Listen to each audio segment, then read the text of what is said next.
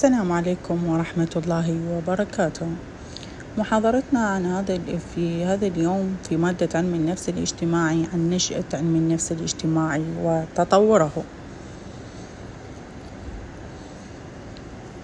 لقد بدأت نشأة علم النفس الاجتماعي في أحضان الفلسفة اليونانية القديمة. ثم مزج بين الفلسفة والعلم ثم صحح علم النفس الاجتماعي مساره حتى اتضحت اتجاهاته العلمية في القرن العشرين وتحول إلى علم تجريبي. نأتي إلى أهمية دراسة النشأة والتطور. إن الذين لا يعرفون نشأة العلم ومراحل تطوره يكررون أخطاء الماضي والذين يعرفون تاريخ العلم يتعلمون من خبرات الماضي. والماضي ليس كله أخطاء. فلقد ترك الأولون في الدراسات النفسية والاجتماعية ثروة ضخمة من الملاحظات الأساسية والفروض الدقيقة والآراء الذكية التي ما زالت صحيحة حتى يومنا. ولقد عجز هؤلاء الرواد عن بناء أدوات علمية دقيقة للبحث النفسي الاجتماعي لقصور مفاهيمهم التجريبية ووسائل تحليلهم الإحصائية أو الرياضية. ولقد فشلوا أيضا في صياغة النظريات المناسبة لتفسير الظواهر التي لاحظوها لتخلف أدوات البحث العلمي المتاحة لهم وقتئذ. ولميلهم السريع إلى التعميم الذي لا يستند إلى النظرة الفاحصة الشاملة التي يرقى بها إلى مستوى النظرية. النشأة الفلسفية لعلم النفس الاجتماعي. يعتبر علم النفس الاجتماعي كغيره من العلوم الإنسانية الأخرى وليد الفلسفة اليونانية القديمة. ولقد كان جوهر الطبيعة البشرية هو المحور الرئيسي للنشأة الفلسفية لعلم النفس الاجتماعي. ويمكن إرجاع الفضل في نشأة هذا العلم إلى أفلاطون وأرسطو. فلقد حاول أفلاطون تفسير السلوك الإنساني على أساس أنه الناتج العام لمؤثرات المجتمع المختلفة سواء كانت مؤثرات التربوية أم اجتماعية أو مهنية أم وما شابه ذلك. حيث يمكن لهذه المؤسسات أن تغير الطبيعة البشرية وتوجهها كما تشاء. وحاول منع حدوث الأزمات الاجتماعية والحروب كما تمثل ذلك في كتاباته في كتابي الجمهورية والقوانين حيث عرض في كتابه الأول الجمهورية المبادئ والنظم التي تقوم التي تقوم عليها المدينة الفاضلة. فلقد قسم المجتمع إلى ثلاثة طبقات وهي الطبقة العاملة العامة وتقابل النفس الشهوانية وطبقة الجند وتقابل النفس الغاضبة وطبقة الحكام وتقابل النفس العاقلة. ويرى أفلاطون بأنه من الممكن التعرف على قابليات الأفراد عن طريق التربية الخاصة وإجراء الاختبارات في المراحل العمرية المختلفة لتصنيفهم بشكل يساعد ذوي القدرات المتميزة في الارتقاء إلى المراكز العليا. أما الأقل قدرة فيوضعون في المراكز الأدنى وهذا التصنيف يتيح لهم الدخول في مؤسسات تربوية خاصة بكل طبقة من طبقات المجتمع. أما أرسطو فلقد اهتم بدراسة الحقيقة الاجتماعية وحاول أن يكون أكثر واقعية من أفلاطون وحاول الاهتمام بالإصلاح المحكومين قبل الحكام وفسر سلوك الإنسان على أساس الوراثة البيولوجية حيث يمكن فهم طبيعته من خلال دراسة استعداداته الوراثية التي يتم توارثها من الأجداد. ويصعب تغييرها مما يجعل السلوك الإنساني مطبوعا بها.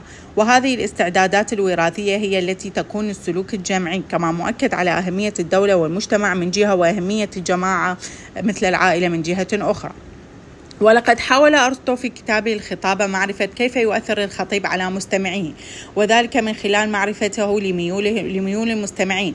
كما يرى أيضا أن كل فرد منا يفضل الأشياء التي تتفق مع ميوله واستعداداته.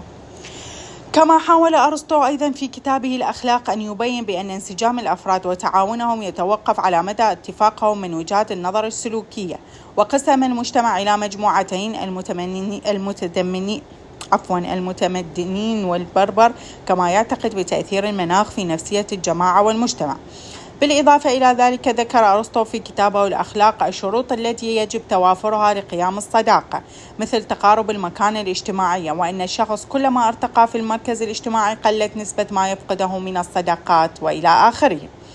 كما أثر المفكرون العرب في نشأة علم النفس الاجتماعي حيث نجد أن المعلم الثاني أبو نصر الفارابي في كتابه آراء أهل المدينة الفاضلة يتحدث عن خصائص الزعامة الفاضلة وعن تماسك الجماعة وأسبابها ثم يحصي سمات الزعيم. ويرى أن ما يعود إلى الجانب الوراثي نظر 12 سمة. أما ما هو مكتسب فهي سمات سلامة الجسم حسن الفهم عفوا والقدرة على الحفظ والفطنة وحسن العبادة والتعبير والحب التعليم والقصد في مطلب في طلب الملذات وحب الصدق والمصارحة وحب الكرامة والعدل وكره الظلم.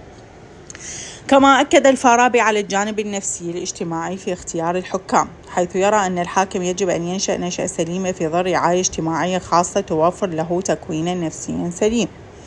أما عوامل تماسك الجماعة فيرى أنها, أنها الاشتراك في اللغة واللسان والاشتراك في المنزل والاشتراك في الطعام. يؤكل وشراب يشرب والإحساس بخطر مشترك والألفة وهول التلاقي. ويعتبر ابن خلدون المؤسس الأول لعلم الاجتماع وصاحب الفضل الكبير على الدراسات النفسية الاجتماعية. فقد أوضح أن الحياة الاجتماعية ظاهرة طبيعية. أما ظروف الحياة الاجتماعية فهي تتحدد في ضوء التعامل والمؤثرات الجغرافية والمناخية ومبين أثر العوامل النفسية والاقتصادية في حياة المجتمعات البشرية. ويؤكد أيضا أن الإنسان هو الكائن الاجتماعي الوحيد الذي يحتاج إلى السلطة لأن انعدامها يؤدي إلى سيطرة الغرائز الطبيعية والسلطة تركز على القوة والشجاعة والتلاحم الاجتماعي العصبية القبلية. وقد شبه ابن خلدون المجتمع البشري بالإنسان حيث يمر بأطوار ثلاثة وهي طور النشأة والتكوين وتغل فيه البداوة وخشونتها يكون في هنا السلطان تابعا. وطور النضج والاكتمال حيث يتبلور مركز الحاكم والسلطان ثم طور الهرم والشيخوخة ويكون المجتمع ضعيفا في تماسكه الداخلي وفي وقوفه ضد الأخطاء. ويخصص ابن خلدون فضلا فصلا في مقدمته عن التنشئة الاجتماعية موضوعه تعلم الولدان واختلاف مذاهب الأمصار الإسلامية في طرقه حيث يرى أنه من الضروري أن يكون التعلم القرآني يوصل للصبي إلى مستوى من التفكير الذهني الذي يمكنه التفكير لفهم معاني القرآن الكريم. كما يرى ابن خلدون أن القسوة في معاملة الأطفال الصغار يؤدي بهم إلى اللجوء إلى المكر والخبث والخديعة.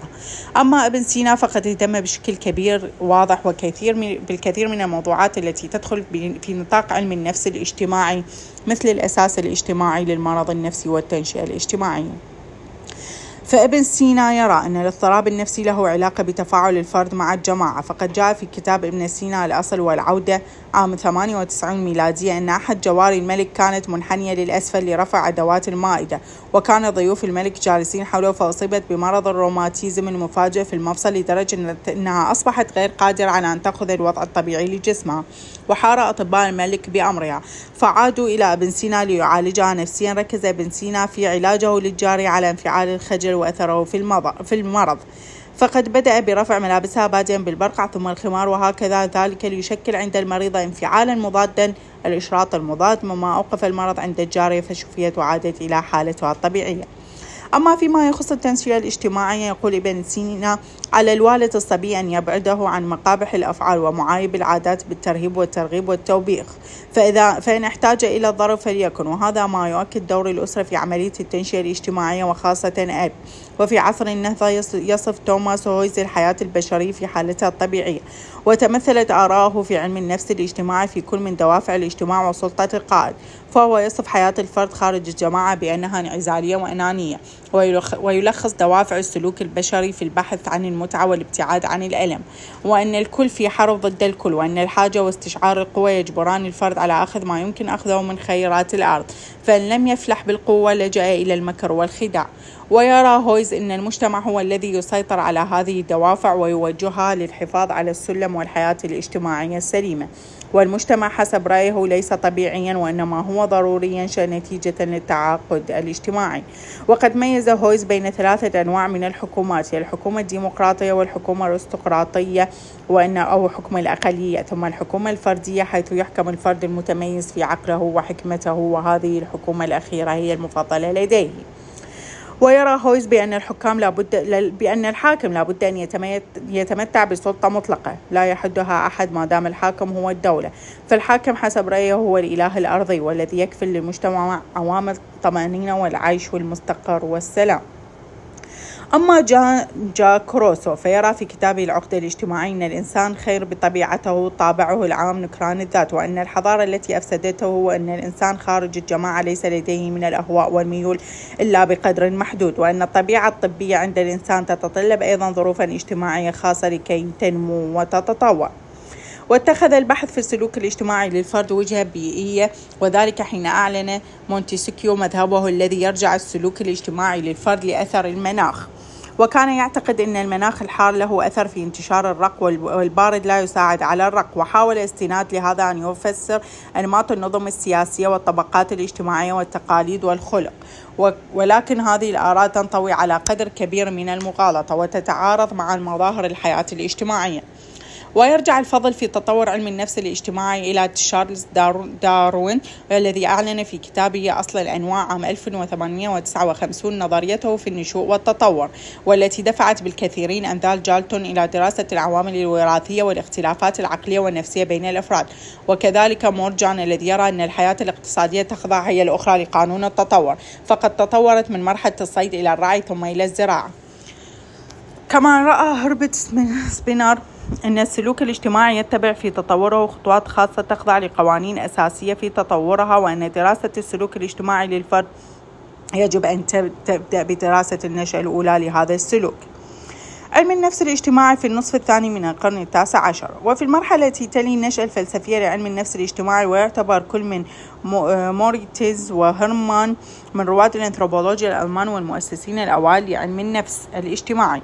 فقد أصدرا عام 1860 مجلة لهذا العلم سميت علم النفس الشعوب واهتمت الدراسات التي نشرت في هذه المجلة بالبحث عن القوانين العامة والمبادئ الأساسية للعقل البشري. والتي يمكن ملاحظتها في الأنشطة الاجتماعية للفرد من خلال اللغة والعادات والقيم وغير ذلك والتي تشكل بوجه عام سلوكياتهم معتمدة كل من لازارز وشتاين وشتانايهل على أسلوب الملاحظة الدقيقة في الحصول على المعرفة المتعلقة بدراساتهم في هذا المجال. مما جعلها بداية صحيحة وجادة تمهد الطريق العلمي لعلم النفس الاجتماعي وقد قسم كل منهما ميدان علم النفس الاجتماعي إلى ميادين. الأول يبحث في العوامل النفسية والاجتماعية العامة التي تفسر سلوك الجماعة كافة والثاني في العوامل التي تفسر سلوك كل من أنواع الجماعات. أما العالم الألماني فيلهلم فوند فيعد المؤسس الأول لعلم النفس التجريبي وصاحب أول معمل في علم النفس عام 1879 بألمانيا في مدينة لايبزيج ولقد وضع برنامجا حدد له 60 عاما لإقامة علم النفس على أساس فيسيولوجي وعلى أساس اجتماعي ونشر دراساته في عشر في عشرة مجلدات تحت اسم أساسيات علم النفس الشعوب في سنة 1900 إلى 1920 فعلم النفس الاجتماعي بالنسبة له يعني النتاج العقلي العام للمجتمعات كما يبدو ذلك في اللغة والقوانين والأساطير والعرف والمأثورات الشعبية وكما يبدو في العوامل النفسية التي تؤثر في الأسرة والقبيلة والعشيرة والدولة. واللغة في نظر فوند كما هي في نظر كل من علماء النفس الاجتماعي على جانب كبير من الأهمية في دراسة نفسية الأفراد.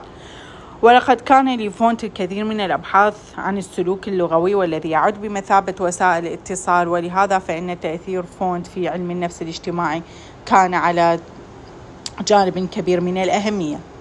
وتلمس ذلك من خلال كتابات أميل دوركهايم وأتباعه الذين تأثروا بالمدرسة الألمانية وخاصة فونت وقبيل نهاية القرن التاسع عشر اتجه عدد من العلماء الفرنسيين لدراسة أثر الجماعة في سلوك الفرد وأثر السلوك الفرد في فرد آخر.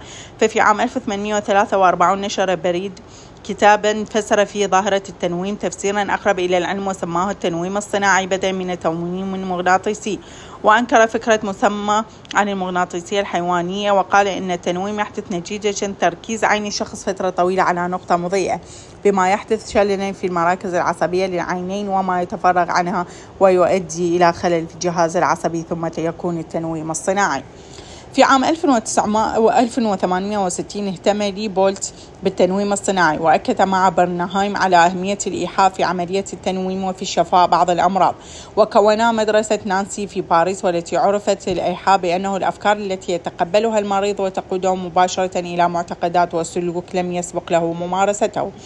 وقدمت مدرسة نانسي طرقا جديدا لأحداث التنويم بالإيحاء اللفظي وأصبح التنويم بين موضوعات علم النفس الاجتماعي. أما جبرائيل تارد فيرى أن المجتمع والظواهر الاجتماعية والتطور الاجتماعي تعتمد على ظاهرتين أساسيتين هما المحاكاة والإبداع. وهاتان الظاهرتان كما يرى آلكوت وكارمن تعودان إلى الفرد نفسه وتفسران التطور الاجتماعي. كما يرى تارد بأن التجديد والإبداع هما الأساس الحقيقي للتطور والتقدم الاجتماعي. ثم تصبح المحاكاة العنصر الرئيسي لنقل الاختراعات ومظاهر التقدم. وفي عام 1980 ألف تارد كتابا سماه قوانين التقليد وفيه حاول أن يحلل بشكل منطقي أشكال التفاعل الاجتماعي. فالتقليد في نظره يشمل كل التأثيرات التي يمارسها الإنسان على إنسان آخر. كما تأثر تارد بتجارب برنهايم وتجارب مدرسة نانسي المشهورة بدراسة التنويم المغناطيسي وبملاحظاته عن المجرمين. وذهب إلى أن الإجرام لا يعود على التكوين البيولوجي للمجرم بل إلى طبيعة المجتمع والبيئة التي يعيش فيها المجرم ونتاج للقوى المتفاعلة المتصارعة في المجتمع. وفيما بعد ظهر الطبيب الفرنسي وعالم الاجتماعي غوستاف لوبون ومن أهم كتبه سيكولوجيا الجمهور حيث حاول أن يصف الجماعات البشرية بأسلوب وصفي حيث يصف كيف تؤثر الجماعة في الفرد وكيف يؤثر الفرد في الجماعة. ومن ناحية النفسية من الناحية النفسية وكيفية تأثيرها تأثيراتها الاجتماعية المتفاعلة. استند لوبون في دراساته إلى دراسة مدرسة نانسي في الهستيريا والفزع وبعض الظواهر النفسية الشاذة وتأثير الإيحاء. وقال إن الذكاء يتعطل في الجماهير وأن اللاشعور والانفعال هو الذي يسود عندهم وأرجع ذلك إلى أن الجماهير عقلا جمعيا أحطى في مستواهم من عقول الأفراد التي تتألف منهم حشود الجماهير. كما تناول السمات العامة للجماعة وكيفية تأثيرها على أفرادهم مما يجعلهم يسلكون سلوكا يختلف هم وهم مجتمعين عنه إذا كانوا منفصلين.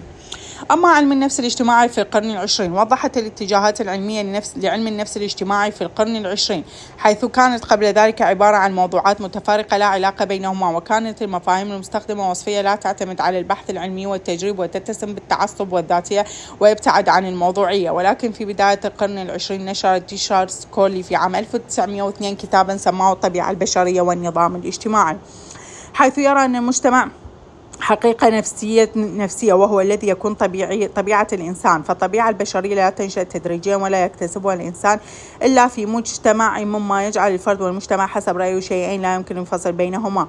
ولهذا فإن الوعي بالذات الفردية لا يتضح إلا في إطار الذات الاجتماعية. وكان لوكلي اهتمامات خاصة في نمو السلوك الاجتماعي والتنشئة الاجتماعية. فهو يوضح لنا كيف أن الإحساس بالذات ينمو من خلال تعامل الفرد وتفاعله مع الوالدين ومن خلال الإحساس بالذات الاجتماعية التي تعتمد في نموها على الشعور بالملكية المتبادلة بين الأنا والآخر والملكية العامة للأسرة. ويوضح ذلك في كتاب نشر له عام 1909 بعنوان التنظيم الاجتماعي حيث يركز فيه على المجتمعات البدائية التي تتميز بالتعاون الوثيق والتأثير المتبادل وكيف أن الذات الفردية تتحد تماما في الذات الاجتماعية. وفي عام 1908 نشر أول كتابين باسم علم النفس الاجتماعي أحدهما من تأليف العالم الأمريكي إدوارد روس وهو من علماء الاجتماع والذي يعتبر السلوك الاجتماعي الوظيفة للتفاعل الاجتماعي.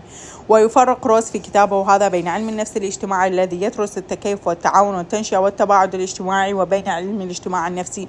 الذي يدرس الجوانب النفسية للجماعة. كما يرى أيضا أن المجتمع ينشأ من تفاعل العقول الفردية نتيجة لعمليتي الإيحاء والتقليد ويكون هذا في هذا متأثرا بنظرية جوستاف ليبون في الإيحاء. أما الكتاب الثاني فقد ألفه ويليام مكدوجال وهو من علماء النفس الاجتماعي البارزين وفي كتابه المدخل إلى علم النفس الاجتماعي عام 1908 وضح فيه أهمية علم النفس في دراسة المجتمع. كما بين دور الميول والاتجاهات الفطرية في الحياة الاجتماعية وأبرز أهمية الغراز واعتبرها المحرك الأساسي لكل نشاط بشري والدوافع الهامة للسلوك. كما عرف مكدو جال الغريزة بأنها استعداد فطري معقد ورأى أن هناك عددا من الغرائز وهي أساس الحياة الاجتماعية والتفاعل الاجتماعي وهي منابع كل أنواع النشاط الاجتماعي. وصنف مكدو جال هذه القوة الدافعة إلى سبعة غرائز رئيسية لكل منها حالته الانفعالية الخاصة بها.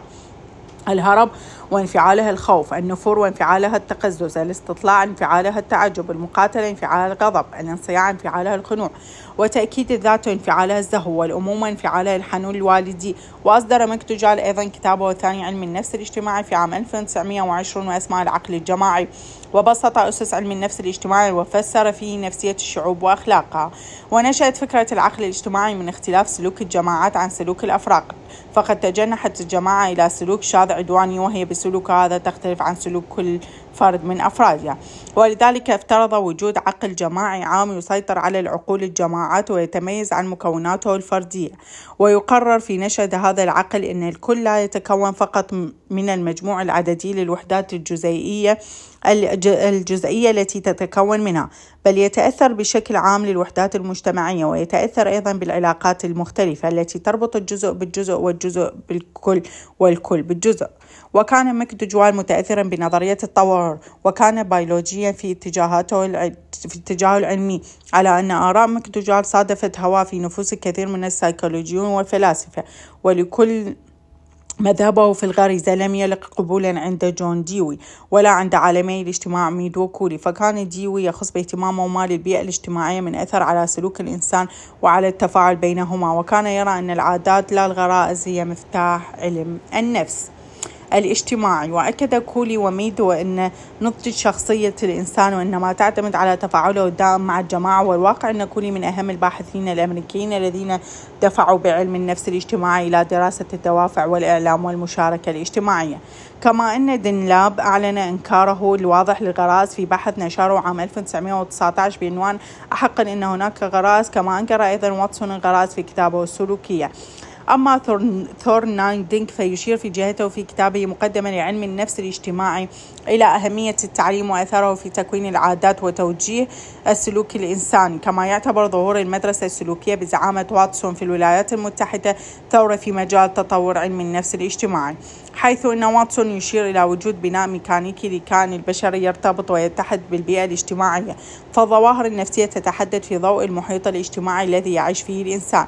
وفي عام 1924 وجه علم النفس في روسيا بعد الثورة البلشفية اهتمامه للمشاكل والتجمعات والجماعات بدلا من سلوك الفرد. ولهذا استخدم العالم الروسي بيشترو ديلانج جماعات الوجه لوجه face to face وذلك لمعرفة تأثير المناقشة في تعديل معتقدات الفرد السابقة وبعد ذلك تركزت بحوث علم النفس السوفيتي على الدراسات الخاصة بالتعاون والمنافسة كما ظهرت في دراسات بولدرف أما عالم النفس أما عالم النفس الألماني والأمريكي الجنسية كيرد ليفين فقد اهتم بما يسمى المجال النفسي وبديناميات الجماعة في علم النفس الاجتماعي حيث ركزت على دراسة الفرد في تفاعله مع المثيرات المختلفة التي تتضمن المواقف الاجتماعية المتباينة التي يتعرض لها مما يجعله يكتسب منها خبرات قد تكون سارة وقد تكون مؤلمة في تشكيل سلوكياته. وتجدد ملامحها بشكل عام وأن هذا ما قصده ليفين من مفهوم المجال النفسي للفرد. أما فيما يتعلق بديناميات الجماعة فيرى ليفين أن أي تغير قد يحدث في جزء فإنه منها فإنه يؤثر عليها بأكملها على اعتبار أنها وحدة ديناميكية متماسكة لا يمكن فصل أي جزء منها عن بقية أجزائها. مما يحتم ضرورة البحث في العلاقات الاستنباطية بين ظاهرة وأخرى متعلقة بها لاعتمادها على بعضها فلا يمكن دراسة أي منها بمعزل عن الثانية. وهذا وقد أصبح لعلم النفس الاجتماعي دوريات عديدة من ضمنها تلك التي نشرت عام 1921 باسم مجلة علم النفس الاجتماعي والتي أصبح اسمها حاليا مجلة الشخصية وعلم النفس الاجتماعي بإشراف ويليام جزماك جيوري بقسم علم النفس جامعة كاليفورنيا. وهذه المجلة تختص بالبحوث والنظريات المتعلقة بالعمليات الاجتماعية وديناميات الشخصية مثل التفاعل الاجتماعي والعوامل الاجتماعية في الإدراك وتغير الاتجاهات والتأثير الاجتماعي والعوامل النفسية في الأنظمة الاجتماعية. إلى آخره وعمليات التنشئة الاجتماعية للطفل الراشد والدوافع الاجتماعية. هذا وقد أنشأ في جامعة كولومبيا قسم خاص باسم قسم علم النفس الاجتماعي منذ عام 1965 وهو أول قسم من نوعه في العالم. ولكن أبحاث في علم النفس الاجتماعي ستزداد يوما بعد يوم لتتماشى مع التطورات العلمية الحديثة في هذا القرن مما شأنه أن يغير من مستقبل هذا العلم ويساهم في خلق نظريات جديدة حيث أن التطورات التكنولوجية الحديثة ستساهم بشكل أفضل في دراسة السلوك الفرد والجماعة. شكرا جزيلا لحسن استماعكم. كانت معكم المدرس المساعد سوزان سالم المندلاوية التدريسية في قسم الأنثروبولوجيا والاجتماع الجامعة المستنصرية كلية الآداب. إن شاء الله سألتقيكم في محاضرات قادمة عن مناهج البحث في علم النفس الاجتماعي.